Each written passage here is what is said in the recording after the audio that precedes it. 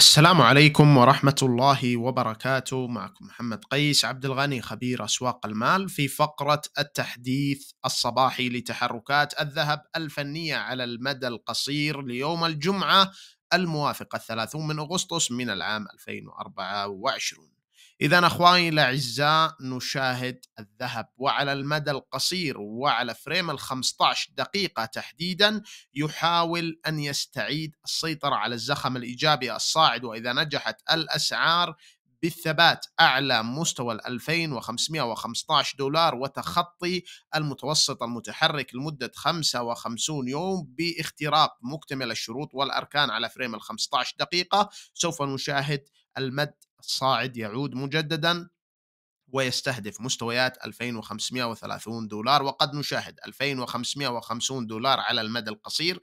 أما على المدى المتوسط قد نشاهد تدريجيا الصعود صوب مستوى 2600 دولار مقابل الاونصه الواحدة ولن يلغى هذا السيناريو الإيجابي الصاعد للذهب إلا بفشل اختراق مستوى 2515 دولار والحفاظ على المراكز الشرائية اعلاها.